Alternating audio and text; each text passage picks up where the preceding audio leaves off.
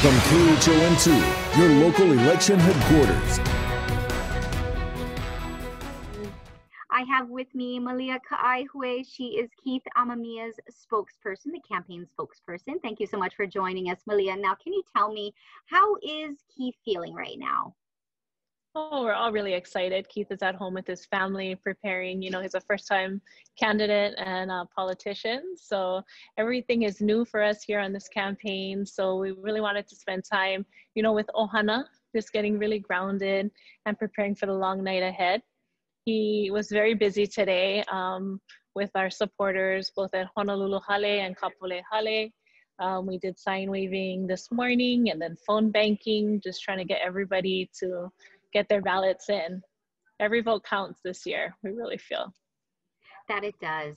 Uh, you know, on election night, you usually have huge parties and it becomes a really big event, but obviously the pandemic has put a damper in that. So, how is Keith going to be celebrating this evening? Yeah, you know, it's a little bit sad because we've had such an amazing team and they've given so much to the campaign.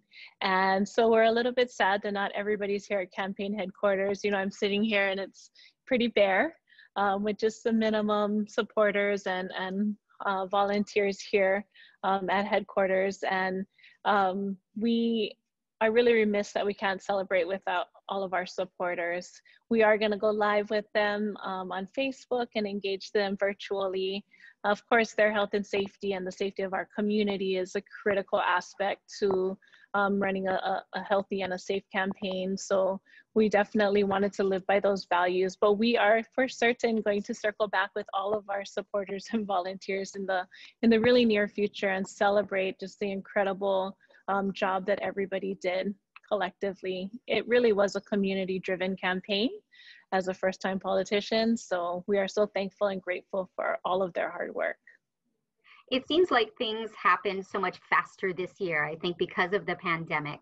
Um, can you tell me, is how is Keith feeling about how his campaign you know went this year and is there anything that he may have done differently yeah, we're feeling really good about the campaign. Of course, COVID um, threw a curveball to everyone, um, and the health and safety of our Honolulu community and Hawaii community is first and foremost in all of our minds. But we really had to reposition really quickly um, some of the kuleana that our campaign had, and we're so proud. Our volunteers came together to serve over 14,000 meals and really shifted campaigning into service. And this is nothing new for Keith. You know, he's served the community for decades.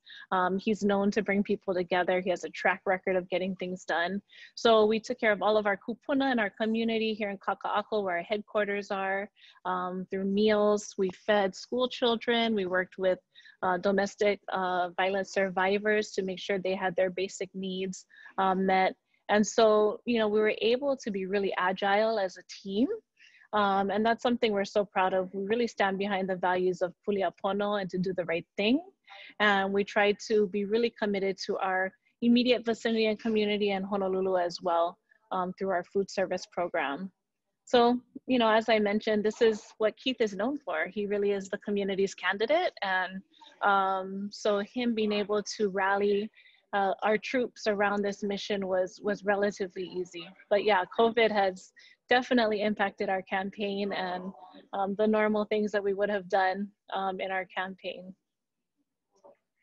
you know, I know that Keith has been very, very active in the community, uh, very involved with sports. In fact, I the first time I met him was many years ago while he was executive director of the HHSAA. Um, you know, and that move into politics. Why did he feel it was so important uh, to run for mayor this year? You know, Keith has always felt this really strong drive to serve. Uh, he's a service oriented person. He um, finds value in community and really rallying community around a common goal. There was also this pressing need and desire in him um, for change. And so much of what we heard from, you know, the wisdom of our kupuna in the community to really the hopes and dreams of our opio was that fresh change is needed in Honolulu and people are looking for a fresh start. People are wanting to hear a fresh perspective.